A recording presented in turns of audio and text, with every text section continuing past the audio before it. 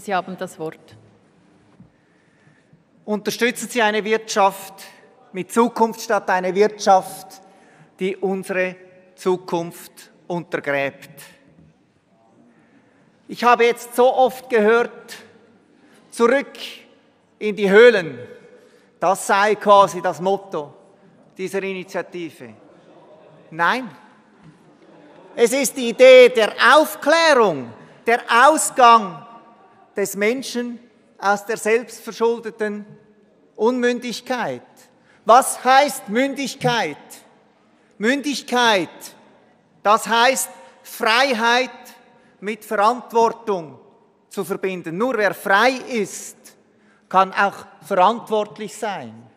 Und deshalb, wenn wir in Verantwortung dafür plädieren, dass wir uns selbst beschränken, dann ist das nicht Zwang, sondern Freiheit, Freiheit zum guten Leben.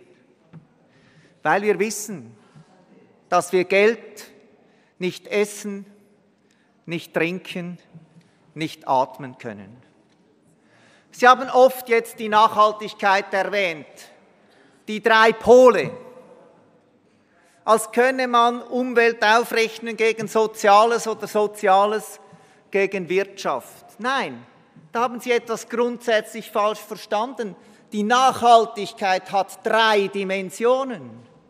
Sie muss im Naturbereich, im sozialen Bereich und im wirtschaftlichen Bereich wirken. Und genau deshalb ist eine Wirtschaft, die ihr eigenes Fundament untergräbt, eben keine nachhaltige Wirtschaft.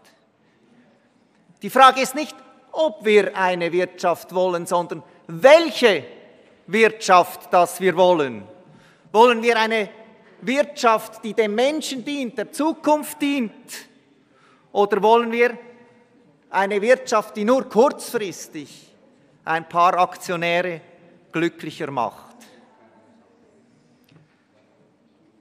Wir haben uns entschieden, zum Mond aufzubrechen, nicht weil es einfach ist, sondern weil es schwierig ist, sagte Kennedy 1962.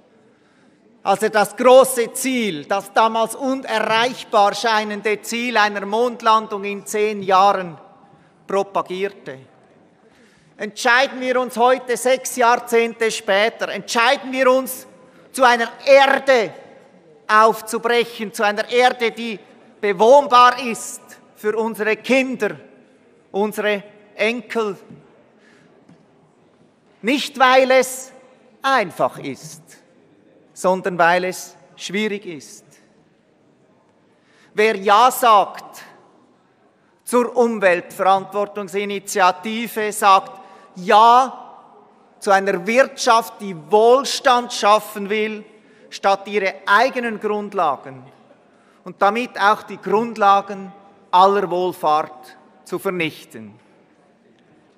Wo bleibt heute in diesem Saal der Optimismus, der Mut, der Realität ins Auge zu schauen und nicht zu verzweifeln? Ob diesen Mutes bewundere ich die jungen Grünen, es gäbe genug Gründe, einfach den Kopf in den Sand zu setzen, zu stecken oder zu freuen sich, wenn das Orchester auf der Titanic weiterspielt. Nein, hier sind junge Menschen, die die Zukunft gestalten wollen. Gestalten wir sie mit. Mit Mut, in die Zukunft. Das Wort